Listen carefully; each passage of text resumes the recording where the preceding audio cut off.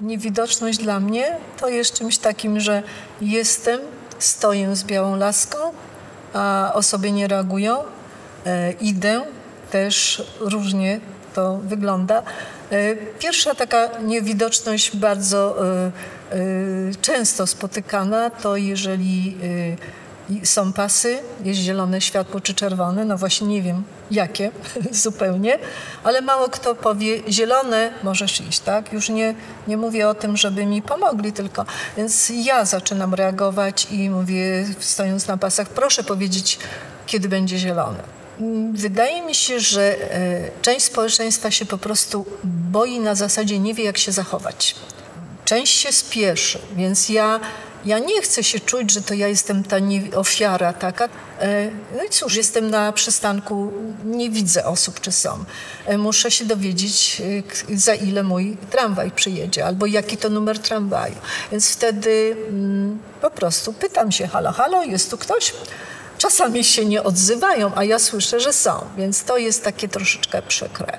Jest to wyjątkowo e, nietypowa choroba, bo jest to genetyczna choroba. Jest to zwyrodnienie barwnikowe siatkówki.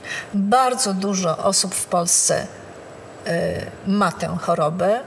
E, u każdego się rozwija trochę inaczej, ale takim głównym momentem jest to, że od dzieciństwa, od urodzenia nie widzimy w szarościach, w ciemnościach. Ja mówię w ciemnościach. Dla osób, które widzą, to wcale nie jest ciemno. Na początku byłam mocno zbuntowana, miałam pretensje do całego świata, do rodziców, że się urodziłam.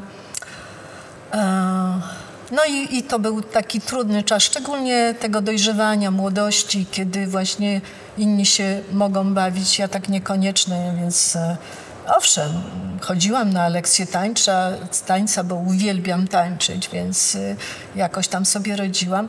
E, później y, następny czas taki pracy, no po prostu wiedziałam, że e, trzeba zarabiać, trzeba żyć i trzeba się dostosowywać do sytuacji. Poza tym ja jestem osobą, która e, zanim założyła własną działalność, mnóstwo zawodów próbowała, więc ja lubię się uczyć całe życie.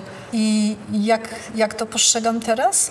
W momencie, kiedy poznałam mm, osobę całkowicie niewidomą, która mi zaczęła pokazywać, że da się żyć, że można tak funkcjonować. No, dlatego dla mnie teraz nie ma problemu. Ja bardzo dużo wyjeżdżam, podróżuję, zwiedzam świat i to uwielbiam, te zapachy, te smaki. E, w tym roku przygotowywałam się do tego sama około 8 miesięcy. W tym roku e, pojechałam do Tajlandii, e, luty, marzec, kwiecień. Tyle byłam. Też z pieniędzmi, paszportem i, i później przedłużyłam wizę. No i pojechałam się sprawdzić, jako osoba mocno niedowidząca, jak ja sobie poradzę w ogóle. Jak było? Dałam radę.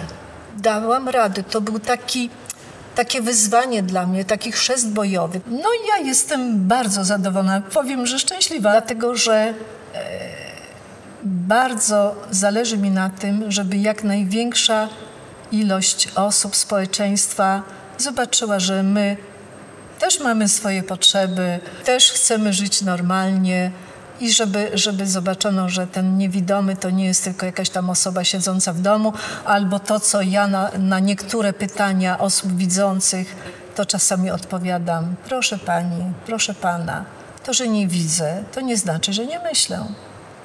No, no to tak jest i chciałabym, żeby, żeby pamiętano o tym. Przede wszystkim nie bójcie się niepełnosprawnych. Podchodźcie, pytajcie i pamiętajcie, że nigdy nie wiadomo, kiedy co spotka kogo. I cieszcie się tym, co macie, tym zdrowiem, jakie macie.